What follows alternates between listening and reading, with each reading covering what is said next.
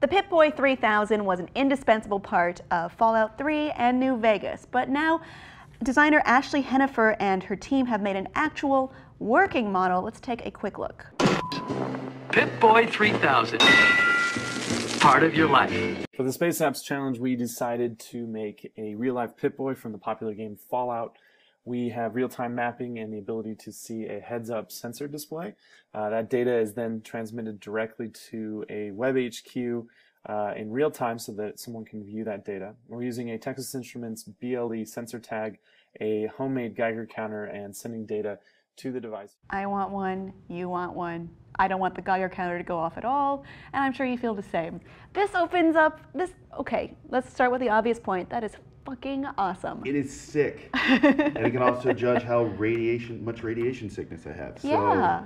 I, I, I think it's absolutely awesome. We're in an age of wearable tech, and uh, the bulk and the weight of that, I'm sure, is uh, probably just going to get smaller and smaller. But that is an impressive little uh, development there. I think it's super cool. I'm always excited when fiction, works of fiction, start to reflect in our reality, as we've talked about our sci-fi futurism thing. Oh, absolutely. And this is Uh, another one. And the Pip Boy, it, I mean, how many of us have played Fallout and you're just looking at that like, yes, I get it, my leg, it's screwed. I'm trying. I'm trying. No, oh, the other one's gone. Okay, it's just, I, I, I'm afraid I'd get mad at it if I wore it all the time, just because I'd look down and But have you're not facing all those problems. If hopefully. I do get, if it, if I were to get like a dog biting me, would it update?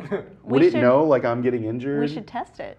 We if had should. That we've got a dog. That would be an awful reminder every time you check the time. Uh, yeah, I only got one leg now. Yeah, but mine would probably blink. It's just a flesh wound. it's merely a flesh wound. I mean, that's a cool program itself. Um, and this takes us to an even another question, which is which fictional gadget from a video game would you like to have in real life? Since we've seen this one happen, I want a portal gun. I, uh, the grav gun or a portal gun. The grav gun would be great. Yeah, I, because I'm lazy. Put, put one on each arm and just double fist it. Yes, absolutely. Um, I also am a. I don't know if it counts as a gadget, but I'd love Mecha Sonic from Sonic CD.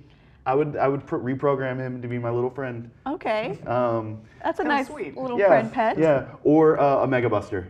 Uh, Mega Man's Mega Buster uh, would be amazing, and if I could change its abilities the way you can in the game by beating up somebody, like if I could go in and beat up a barber and be able to cut really good hair with my Mega Buster, that would be great. Oh, Thinking uh, outside the career box, I like that. options. for Yeah, you. exactly, exactly. You use the Mega Buster, you kill whoever it is, you get their abilities. So if I go and use a Mega Buster to kill somebody who's really talented in magic, I should be able to do magic. Then you'll be the king of the magic castle. Yeah, I don't think anybody's thought of that aspect of the Mega Buster before. It's like, no, no, use the Mega Buster to kill them and you'll get their abilities.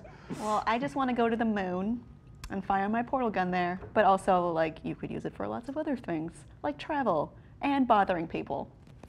I think.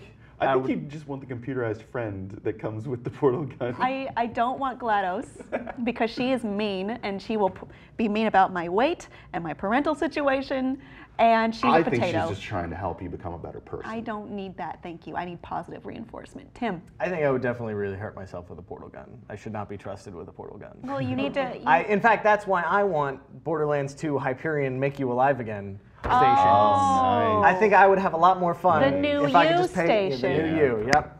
And if that's not available, I think I would have a lot of fun with a Titan. but wouldn't you feel? But only if I had the only one. The only Titan? The only Titan. Then because if would- there's other Titans running around, the mine could explode. The military would come after you, like, get that guy. Not with my Titan.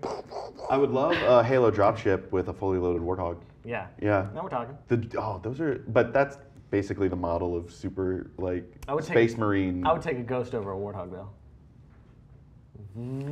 I feel feel like the new you raises existential questions as Yeah, to, is that definitely. really you? you are what is you that are rooting for corpse the humans body? in Planet of the Apes, aren't you? yeah.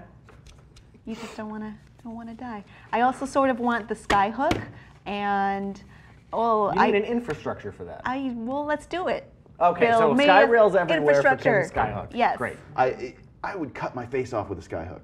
I would just I'd, I'd yeah. I'd probably cut off the faces of all my loved ones on accident. I Things don't like got the way weird. you said on accident. I was inching over to you because he uh, no No, we're both insane. right here in the middle. Yay. Me and you guys, just us. All No right. So, what do you think of one, the Pip Boy becoming real, and what gadgetry have you seen in a video game that you would like in real life and you can trust yourself with? I don't think any of us can be trusted, but tell us what you think below in the comments, and please be sure to subscribe.